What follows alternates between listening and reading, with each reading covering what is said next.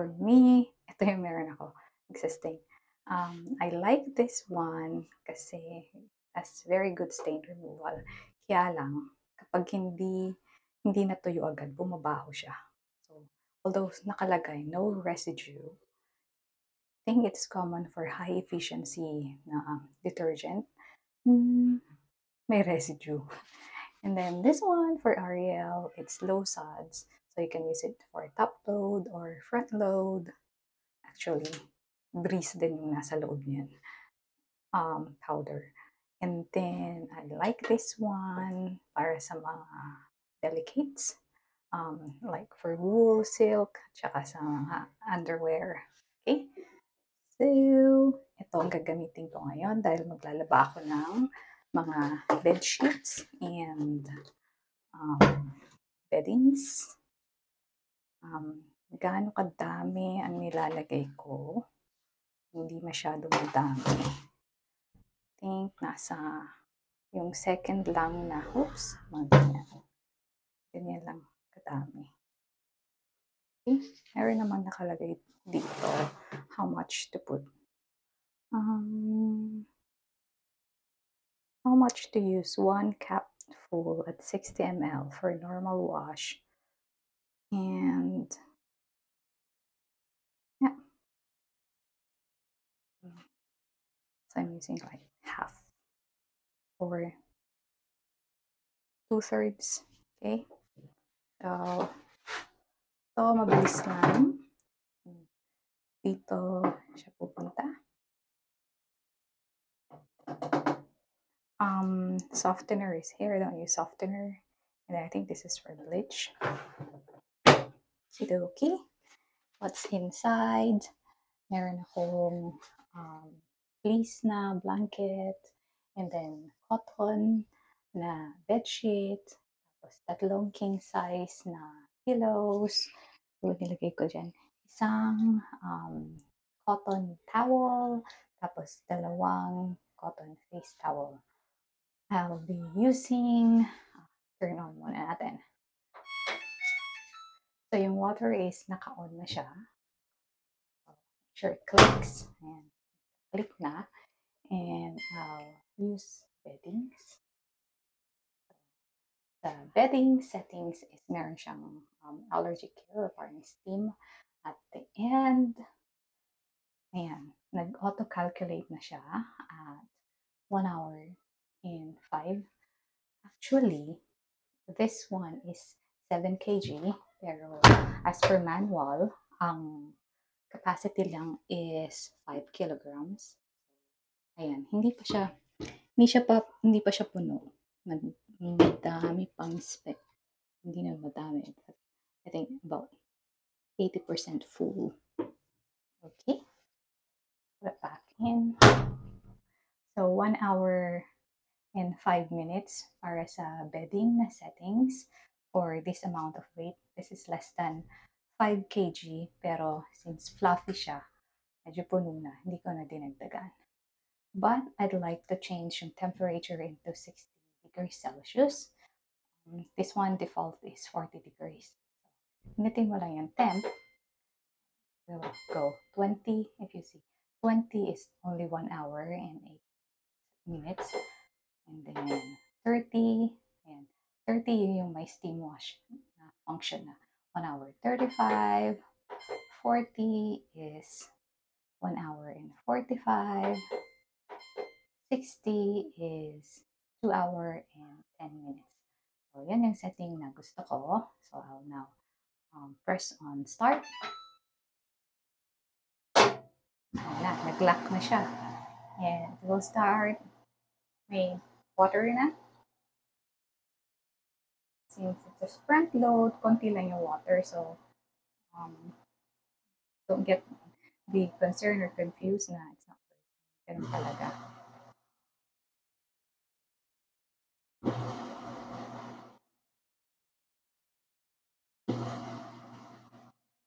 So, sobrang konti lang. So, keep on just adding water on and off for the span of 2 hours and 10 minutes. Okay? I'm gonna set aside this. Not sponsored. These are just the brands that I use. Oh, Panoorin nyo na lang, ha? Iwan ko din eh.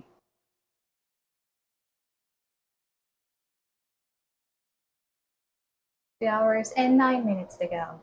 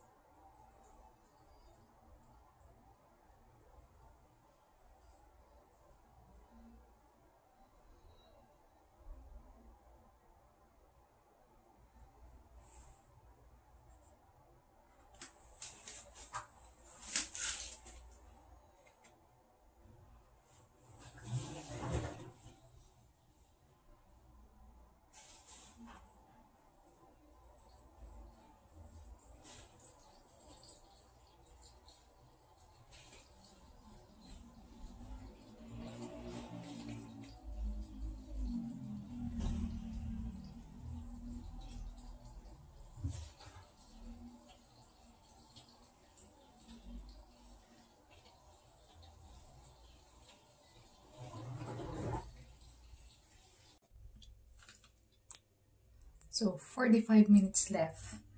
Hmm, hindi na siya masyadong maingay. Parang, ewan ko, eto na ba yung steam? Steam wash na ata siya. Kasi nag-moist na, tas mainit.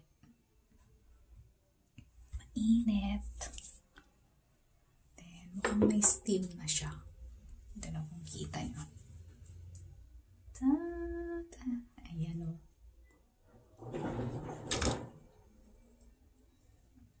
So, steam wash mo. And after niyan ay, I don't know how many minutes, siguro mga 15 minutes. Kasi kanina pang mga 54, ganun. Thank you.